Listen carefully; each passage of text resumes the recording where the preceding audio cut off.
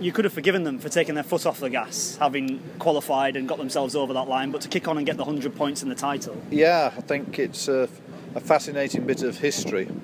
I'm sure our statistician, is that the right word? Yeah. yeah, statistician, will begin to look and see just what records we have broken.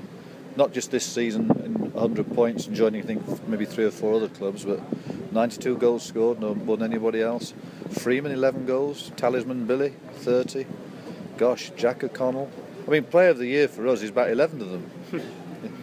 it's true, honestly. I mean, it's, the, it's uh, individuals who have played so well, but as collectively as a team, absolutely top class. There's been some difficult times, haven't there, over the past few years for the club. So Yeah. to have this happen in, in the manner that it has happened as well kind of gives that reward to those fans. Yeah, you've got to believe, you know, we have had wretched luck, and anybody who's uh, an unbiased supporter who looks at United's track record and sees some of the hurdles that have been we've been confronted with will say, you know, they've not had the fortune that many other clubs have had.